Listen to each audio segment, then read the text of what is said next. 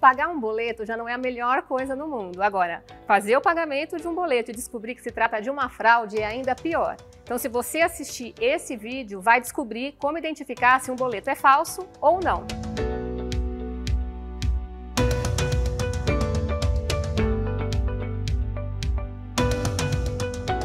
Já se inscreveu no nosso canal? Se você ainda não fez isso, corre, se inscreva e não perca nada que acontece no universo financeiro. Bem, saber se um boleto é falso é a melhor maneira para proteger o seu dinheiro quando se trata dessa forma de pagamento. E o golpe envolvendo esse meio de pagamento nada mais é do que uma cobrança fraudulenta que é gerada para que o pagamento não caia na empresa na qual o boleto leva o nome e sim na conta do fraudador e existem formas variadas na hora de aplicar esse golpe do boleto falso. O fraudador também pode enviar um e-mail com o boleto falso para que o pagador faça o pagamento. E outra forma é a alteração do código de barras de um boleto oficial, que é feita por meio de vírus que entram no computador.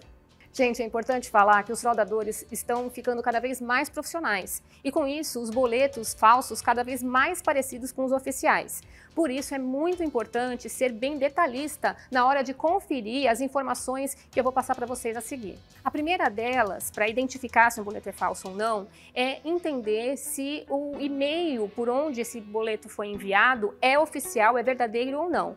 E se isso pode ser feito é, verificando se existe um cadeadinho ali do lado do endereço da, da onde o e-mail é enviado. Se ele foi enviado por SMS, será que o número é o oficial da empresa cobradora? Tanto por SMS como por WhatsApp também. Fique bem atento a isso, porque dessa é, essa é a primeira maneira de você começar a identificar se estão querendo te aplicar um golpe. Essa informação é super importante na hora que você for efetuar o pagamento, sempre verifique se o nome do beneficiário é realmente o nome da empresa cobradora. Quando um boleto é falso, por exemplo, geralmente o nome do beneficiário não bate com o nome da empresa é, que é responsável pela cobrança. Por exemplo, se você tem uma conta de luz para ser paga, o nome da companhia fornecedora da energia tem que estar no beneficiário. Se isso não acontecer, provavelmente o boleto não é verdadeiro.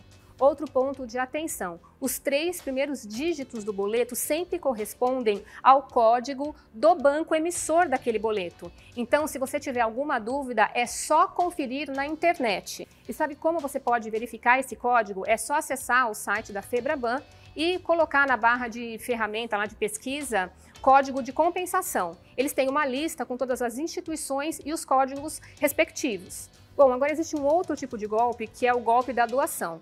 Muita gente aproveita os momentos de crise e acaba aplicando ali um golpe relacionado à doação e para isso fazem a emissão de um boleto. Antes de fazer o pagamento, sempre verifique a reputação da empresa, se ela existe ou não. Se você recebeu um boleto e está na dúvida se ele é oficial ou não, vale entrar em contato com a empresa que supostamente fez o envio, ou seja, a empresa responsável pela cobrança e fazer a checagem se é oficial ou não. E caso aconteça algum problema, a própria empresa vai fazer o envio de uma outra cobrança. Agora, se você receber um boleto e tem certeza de que ele é falso, basta entrar em contato com a empresa responsável pela cobrança e fazer a comunicação dessa fraude. Com certeza, a própria empresa vai tomar as atitudes cabíveis aí contra os fraudadores. Para encerrar, vou fazer um resumo bem rápido do que você deve se atentar na hora de fazer o pagamento por boleto. O primeiro passo é verificar se o site ou o contato que fez o envio do boleto é realmente o oficial da empresa cobradora.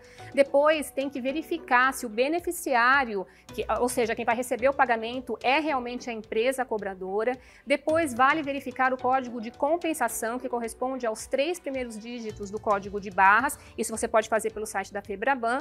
Em seguida, procure baixar, se você tiver a necessidade de fazer uh, o download aí do boleto, no site oficial do banco ou da empresa credora. E na dúvida, entre em contato com a empresa cobradora para você ficar tranquilo na hora de pagar o boleto. Se você gostou do vídeo, deixa um like, mas se você ficou com dúvida, pode deixar nos comentários que eu mesma vou responder para vocês. Vejo vocês nos próximos vídeos.